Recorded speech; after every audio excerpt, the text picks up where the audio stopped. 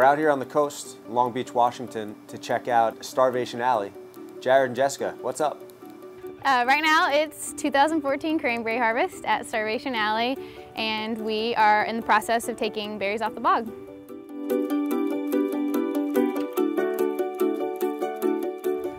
Our juice is special because it's Washington's only organic fruit.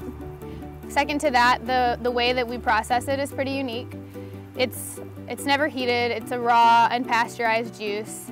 That is unique and makes, and makes for a good product because I think um, even if you've tasted other 100% cranberry juices, they taste, to me, a little bit pruny, it tastes medicinal, and, and not heating it or concentrating it and, and not sweetening it, I think it keeps a lot of its really bright cranberry fruit flavors. And so it's definitely tart, it's really potent, but at the same time, it's balanced with its natural sugar. And I haven't had any cranberry juice that tastes like it, and I'm really proud of it. For good reason. How'd you get into the cranberry business? Um, so Starvation Alley has been around for a while. The bogs have been here since the late 1800s. We have some vines on our farm that are over 60 years old. And, um, and we took over the bogs in 2010 and began the organic certification process, which is a three-year process that we completed in October of 2013. Uh, the name people ask us about a lot. So Starvation Alley is the nickname of the road that the bogs are located on. And it got that nickname during the Great Depression. And um, Starvation Alley didn't actually have a formal name and it was a little bit of a shanty town where a lot of the um, day laborers for the oyster industry, the cranberry industry lived. And we tried to get rid of the name a couple of times because people are like, you can't have a food name that's called Starvation Alley, or a food company that's called Starvation Alley. But it's our ode to, to people that have always been working hard for food, and we're still doing that today. Cool. Show us how you harvest the cranberries.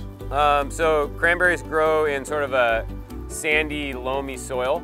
And uh, to harvest them, there's, there's sort of just a big mat of vines and, and a lot of berries, hopefully, on a good year. Um, so to harvest them, we flood the bog uh, with, with water. So we have a couple ponds around us and we pump it into the bog and, and kind of bring the water level up and then drive through with this nifty tractor. Um, and it just sort of rolls over the vines and, and knocks the berries off the vines, at which point they float. Um, and then the, the next phase, we'll, uh, we'll get a bunch of people in here to help us and we'll corral them up into one corner and, and lift them out of the bogs that way. Um, I had no idea I was going to be a farmer, let alone a cranberry farmer. I guess the, the short story is they're, they're native to the area that I grew up on. Uh, my parents came across a bog about seven years ago and that, that sort of opened the door for me to, to think about farming.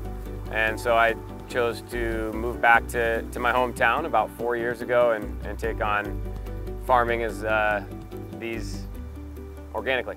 And so here's Alex. How would you describe the mission, Alex? The mission of the company is, for me, is about creating a market for people to be able to grow cranberries more responsibly and, and be rewarded for that. And that means healthy soil. It also means healthy families, healthy, healthy farmers. Uh, and you know, I think one way that we figured out to do that is to create beautiful juice and, and, and tell the story all the way through. I love the flavor of your juice, but why don't you add sugar? It's been a pretty strategic decision not to add sugar to our juice. Uh, cranberries are a superfruit. They're known for a lot of their beneficial health properties. They're a ton of vitamin C, there's a ton of antioxidants, and a lot of our customers definitely drink it for the health properties. And when you add sugar to something, it generally negates all of those beneficial health properties. And of course, we do that anyways by generally adding it to tequila, so.